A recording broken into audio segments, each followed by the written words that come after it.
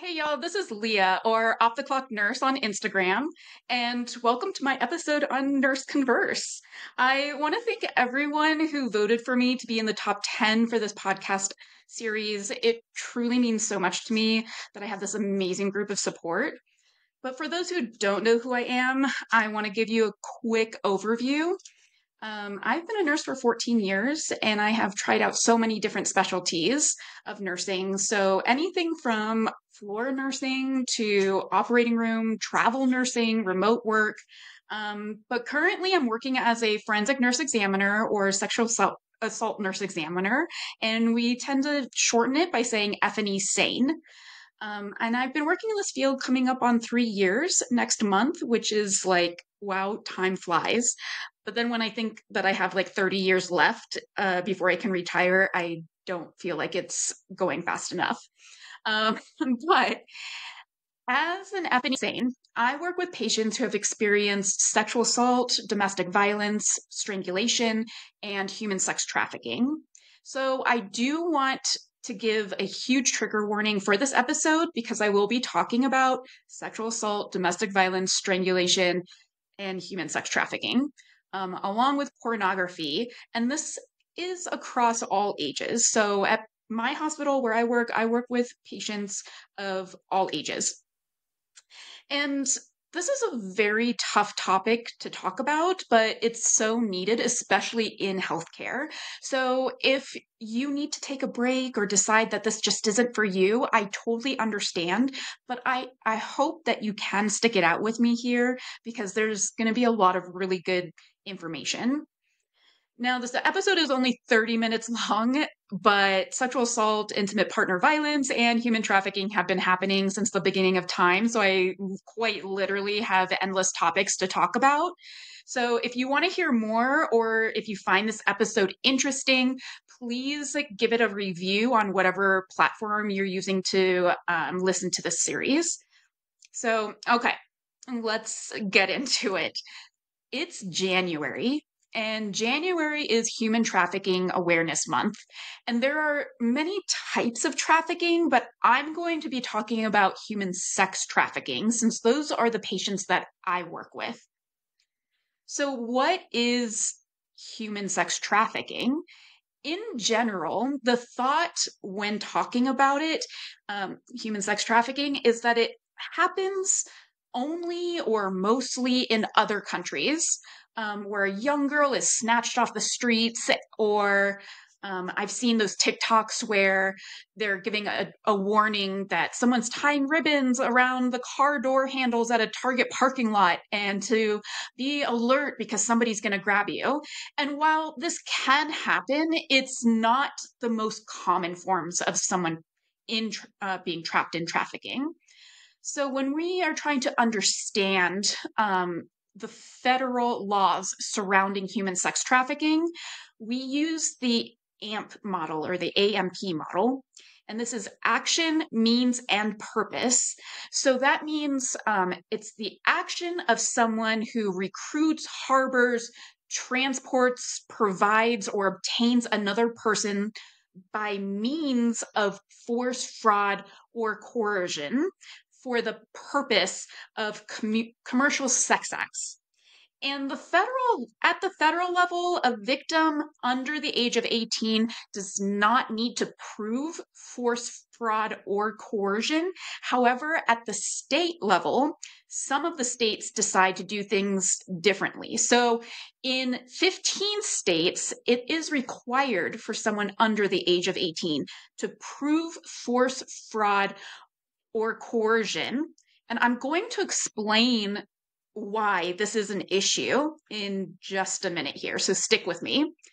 So let's talk about statistics a little bit. And I love to give statistics because I think it really draws a good picture on just how large the scope of the problem is right here in the United States. So, an estimate given by the National Human Trafficking Hotline and Hope for uh, Justice says that there are more than 1 million victims trapped in human trafficking here in the United States. There's no way to tell the exact number since there's a lack of consistency in reporting and definitions throughout the United States. So, this is where the issue of having to prove force, fraud, or coercion comes in.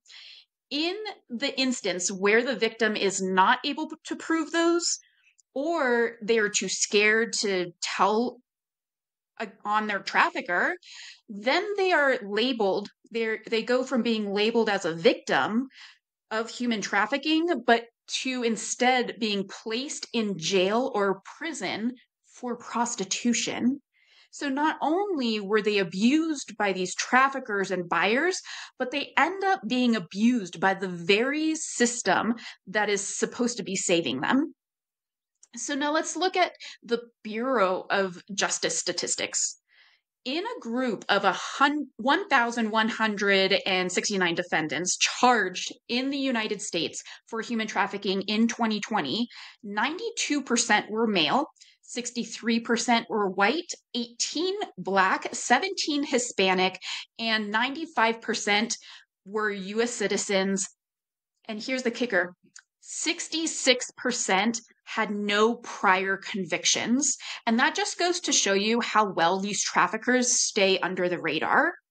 So, going back to the myth of people who are trafficked are snatched off the streets, 91% of human trafficking uh, victims are actually trafficked by somebody that they know. This could be a family member, a friend, friend of the family, um, so your church pastor or priest, or your sports coach, or someone you met through an online gaming community. But most commonly, it'll be a boyfriend or significant other.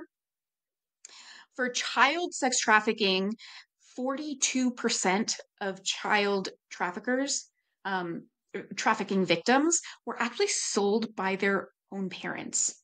So I think it's really important to talk about who are the actual traffickers. Um, and so there is this myth, another myth that says 100% are male um, that are traffickers, and the victims are always female. And it's important to remember that a trafficker can be anyone. It does not matter their gender, race, socio- socioeconomic status, or even their age. Some adult traffickers will recruit other vulnerable teens to bring in their friends to be trafficked and in return they give uh, they get payment and are not the ones that always have to get sex trafficked so they manipulate these teens into believing that they aren't um, doing anything wrong, that in fact they are helping their friends by also getting them paid. So this is just one form of grooming. So, talking about the grooming process, we hear this term being thrown around a lot over the last few years. And grooming for human sex trafficking often doesn't happen quickly. We think trafficking um, as something that's very violent or a victim being grabbed and beaten into submission. And while this can happen, um, it's not often that it starts off that way. So often a trafficker will start uh, with psychological manipulation tactics to lure their victims in. If it is someone that the victim knows, um, they could be the fun, trusted, caring person that you would never expect to do something like this to your child or anyone else. Um, they make their way in by pinpointing someone that they can tell is a vulnerable victim someone that maybe has low self esteem, has um, experienced a lot of trauma in their life. Um, if it's a child, maybe someone who is scared of getting in trouble. Um, so I like to give the example of the boyfriend tactic. So, this is where a guy will lure in their victim by making everything seem like a regular re- romantic relationship they're very good at listening and being able to figure out what that victim is missing in their life. And it can be anything from food or new clothing to financial help with bills to drugs and alcohol to emotionally um, manipulate by fulfilling the victim's need need for love and belonging. And while love and belonging are not things that we technically need for survival, like food or water, they are things that people will do anything for just so that they don't lose that feeling. And it's it's the same thing that goes for addiction. We we often look at the bad things that drugs and alcohol do to a person, but when you ask an addict, somebody who's addicted to drugs or alcohol, how do they feel when they are taking the drugs? Um, they'll say things like, "Well, I it makes me feel numb or it makes me feel good or calm." And if we really want to help a person with the addiction, we need to learn to address the cause of the addiction and not just focus on the addiction itself. So, why do they feel numb? Why why is feeling numb or uh, you know so much better than why is why is feeling numb when you are high better than whatever you're feeling when you're not? What is missing from your life that you need to turn to this drug to feel a sense of calm or feel good that is not happening in your everyday life. And that is exactly what these traffickers focus on with their victims, especially the ones that they get addicted to drugs or alcohol. So I remember this quote from a former pimp on this human trafficking documentary that I was watching. And he said, You take away everything she has and only give her what she needs. You, the pimp, are the cause as well as the solution to all of her problems. You give her the poison and then sell her the cure. With that in mind, the trafficker now has power and control over their victim. So, this is when he starts to force her to do things that she doesn't want to do. Um, he either threatens her or goes further and tries to normalize it. So, let's say uh, this victim has been sexually assaulted by her stepdad at home, random scenario, and she's a runaway teen the trafficker might say things like, well, you were having sex at home and weren't getting anything for it. At least I'm giving you all of these nice things and making sure that you're being taken care of. So it's just normalizing, justifying, and is the way of their game. Now, why does why does human trafficking exist? Because to the layman person, you know, someone who's not doing those things, we're like, this is terrible. Why would anybody do this? Well, according to the US Department of Homeland Security, the human trafficking market between 2020 and 2021 is estimated to be around a $150 billion industry. This makes it the second most lucrative black market behind the illegal drug trade. And we know there are bad people all around us.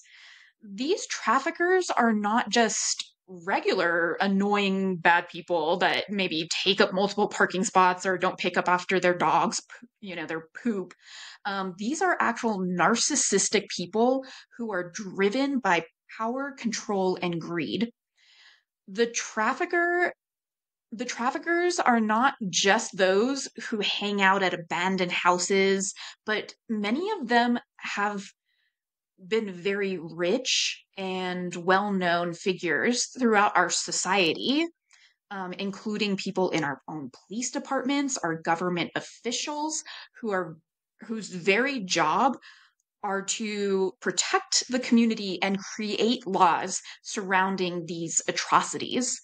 So um, they are people who don't believe that laws actually apply to them and that they are literally untouchable. And as a society, we are complicit in allowing them to get away with it, with trafficking. We live in a country where we blame, shame, and don't believe victims when they come forward. We have this mentality that if it hasn't happened to me or I don't personally know somebody that I care about that it's happened to, then it doesn't really matter or that it's rare. It's a, it's a rare occurrence or even worse, it's easier for us to believe that the victim is lying than accept that the accept the fact that we live in this world where human sex trafficking actually exists and it's happening in our very own neighborhoods we saw this whole thing unfold with the Je- Jeffrey Epstein case. And if you don't know about that case, then I recommend that you find one of the many documentaries about Epstein that are on Netflix right now and really listen to the survivors speak their truth. Because Jeffrey Epstein was linked to some of the most powerful and famous people in the world. I'm talking Bill Clinton, Donald Trump, uh, Sergey Brin, who's the co founder of Google, Bill Gates, the director of the CIA, William Burns, and freaking Prince Andrew, the son of Queen Elizabeth. May she rest in peace, but not too much peace. These people have never been convicted, but you cannot tell me that these high profile people who flew in his jet and spent time with Epstein on his private island never heard the rumors about Epstein and didn't think that it was weird that he always had these underage girls surrounding him. Another way that we're complicit in feeding the human sex trafficking line is by normalizing it. We have given it another name we've even in some places like Las Vegas, we've legalized it. We call it prostitution or sex work. Now, there may be some people who choose to do sex work and it not because they can't find anything else to do or that they don't believe that they are are worthy of anything else these are typically Caucasian women of high socioeconomic status who actually work within the porn industry. And they have full bodily autonomy over what they will and won't do in these pornos. They and they are adequately compensated for their job. So you might say, well, Leah, if prostitution is legal, then the victims won't get arrested and sent to jail. And that's the issue you previously talked about. And to that, I say, they have not helped true victims of human sex trafficking. They've just made it easier for traffickers to exploit them and get away with it. If it was truly about helping victims instead of making prostitution legal or arresting those who cannot prove force, fraud, or coercion, they should instead offer rehabilitation and resources to those who want it. And I talk about the link between, uh, I want to talk about the link between human sex trafficking and pornography. Now, just like not all traffickers are men, not all buyers are men either, but the vast majority of both are men. So, to explain this, I'm sorry, not sorry, guys, but I am pointing the finger. Um, when it comes to pornography, often just watching it isn't enough. Like, there's this escalation that needs, there, there's this escalation need to act out what is being shown in this porno. And people can do that if they have money apparently this is something men are very willing to pay for. If there wasn't such a high demand for sex trafficking where billions of dollars could be made, then there wouldn't be a need for a supply. Supply. And when I use, I'm using bunny ears when I'm saying the word supply, because that supply is an actual human being with feelings, needs, and a desire for a better and different life. They have just been conditioned to believe that a better life will never be achievable. So, my final statement before I hop off this soapbox and onto my next soapbox is to say this this is my own opinion now. If a person says nothing, knowing that there was trafficking, a trafficking situation going on, or if they have paid for a particular, um, or if they have paid to participate in a sex act and not knowing fully to the fullest extent that that person is not a victim of human sex trafficking, then they are just as guilty as the actual trafficker. I wrote here in my notes to take a deep breath, so let's just do it all together. Okay, so now you have a very, very shortened overview of human trafficking. It's so, so, there's so much more to it. But the question is how do I apply this to the healthcare field? And while all healthcare workers should know this, and I'm looking at you, um, I'm looking at you, ER, ER staff, STD clinics, urgent care clinics, pediatric office staff. Um, everybody should know this. So, what are some signs that you should be looking for? Well, they will often and i'm talking about the the victims when they come in as your patients they were often not be alone. Most often they are going to be with either their seller or sometimes another person who is being trafficked um, is going to be with them. And you're like well why wouldn't they both speak up? And it's because sometimes this other person is um, also brainwashed into believing that if they bring this patient back, bring this victim back, that uh, without being found out, that they will be rewarded, or maybe they're a closer person to that trafficker and they think that they're in more control than what they actually are. Um, another sign is uh, this other person will be the one answering questions or maybe holding on to the patient's ID the patient might have multiple untreated STDs or a new HIV diagnosis. The patient doesn't make eye contact and rarely speaks for themselves. Um, the patient might not know what state they're in. Um, a big thing within human trafficking rings is that they often will move their victims around. And this is so that they're not staying in one place for too long in order to make friends or get to know the area well enough in order to run away. So many um, have started going away from the branding tattoos. But if you do see something that is questionable, um, like some weird weird tattoo because let's be honest, uh, we've all made questionable choices in getting tattoos. Um, if you see one, it's good to just ask. Everybody has a funny story or some kind of story to a back uh, to a tattoo, um, even if it's just like, oh, that was just on a whim. Um, so asking them, uh, oh, what's the story behind that? And if they get really nervous or they cannot tell you, then it might be something to look into more. So, what should you do if you suspect your patient um, is in human trafficking? We try our best to separate them from the person they're with. And this could mean taking them for a test. Um, it could be saying, oh, it's p- protocol or policy. We just have to ask these alone.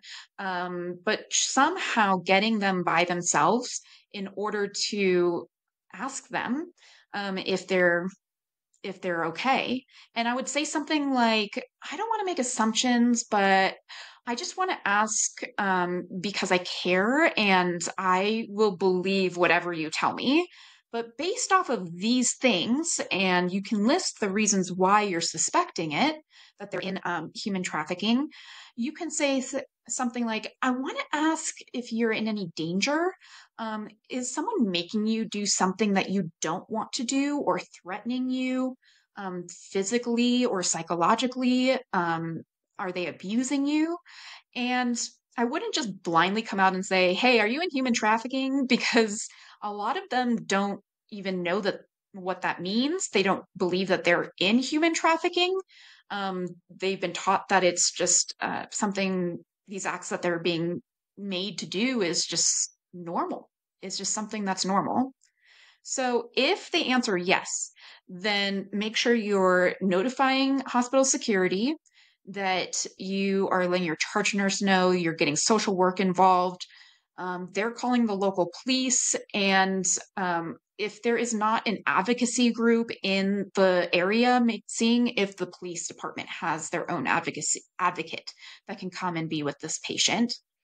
So let's also not forget that along with safety, we want to prioritize this patient's medical and psychological well-being. So they obviously were coming into an emergency room for some purpose and we want to find out why um, why they were there to begin with. Um, now, what if they say no? Um, they're not being trafficked and everything is fine, but like, what's that? What's that saying? Um, I may have been born last night, but I wasn't born last. Or, oh no, what was it? I may have been born at night, but I wasn't born last night. Type of obvious remember that these patients' entire lives revolves around their seller or their trafficker. They rely on them for every aspect of life food, shelter, clothing, and even sometimes a sense of community with being surrounded by other trafficked victims. So they could have been threatened that if they said anything that one of their friends would be hurt or killed and losing their life, their friend's life, or ending up on the streets alone are all very realistic fears. So don't push them. Once they give their answer, um, just say something like, if they say no, just say something like, oh, okay, I understand. Um, we're always trying to get information out there. So if you know anyone that is in um, a, a trafficking situation, you could tell them that this is always a safe place for them to come and let a staff member know. Um, or um, I do have this phone number if you don't mind taking it. And sometimes they'll, I personally have yet to have someone turn me down to take this phone number. And um, even when we were looking, working, I was working at this nurse advice line, um, we would send emails that uh, looked like spam emails that would require an, a password to open. And I just thought that was really cool because um, I wish we had that on all of our computers. Actually, maybe that's something that I'll harass um, hospital management about next. Um, sorry, uh, Michelle, if you're listening to this, as my manager. Um, but uh, it was really cool because that way, if a trafficker were to take their phone and go through it, then it's not something that would hop out to them as being like, oh, why do you have this number? Or uh, you're in trouble now. So, other things that your hospital can do. Um, there's something that I was recently able to accomplish at my hospital that I'm super proud of. Um, the bathroom is one place that a person can be alone, sitting on a toilet. And having flyers up in the bathroom stalls uh, with advocacy phone numbers not only allows that person to know that they're not alone, but that this hospital that they're at cares about this topic and is aware of the problem. So it's very easy to generate a QR code that the patient can take a photo of um, and visit later uh, that has all of the advocacy phone numbers on as well. So it's not as obvious if their trafficker is like going through their. When a patient comes in, we always go through those admission questions and it's those like safety questions. Do you feel safe at home? Make sure you're asking those by themselves because even if they're coming in with family or friends um, and let's say it's a domestic violence like it's a their trafficker is a boyfriend um, we want to make sure that um, we are not asking them in front of those questions in front of anybody else because there's so much surrounding shame and embarrassment to admit in front of even people who aren't their trafficker um, that they are in these situations in clinics or ERs, there, whenever you have to collect a urine sample, maybe putting a cup um, with stickers in the bathrooms with a directions that says if you are in immediate crisis or immediate need for help in one of these trafficking or abusive situations, just put a sticker on the cup, and that will alert the healthcare worker to know that they need to now separate the people that are in the room. But overall, I think having a set hospital protocol to know what to do if someone does ask for help, um, going in, asking open ended questions, non judgmental questions, um, and most importantly, to start by believing those who do come forward is most important. If you made it to the end, I applaud you and thank you for sticking with me. Um, if you would like to learn more about human trafficking, uh, I am helping to put together a human trafficking prevention program called Walking Wise. It's dedicated to helping adults hold candid conversations with young people about child sex trafficking. And the mission is to teach uh, kids how to recognize sexual exploitation and report it. So this is made also for medical professionals, school educators, and parents um, can enroll at walkingwise.com to participate in the online um, series, and it covers 11 diverse topics relating to sex trafficking.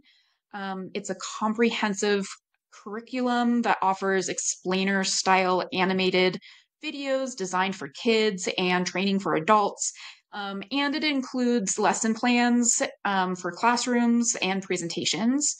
Um, we hope to have it up and running by early 2024, um, but I will announce when it officially goes live from my um, uh, my Instagram, Off the Clock Nurse, or my Facebook page, Off the Clock Nurse Travels. Um, and of course, if you or someone you know is being human trafficked, or in a human trafficking situation, please reach out to the National Human Trafficking Hotline at 1 888 373 7888, or you can text info in all caps to 233733. So, thank you guys again for listening. Don't forget to leave me a review on whichever platform you are streaming and deep breaths and have a great, wonderful rest of your day.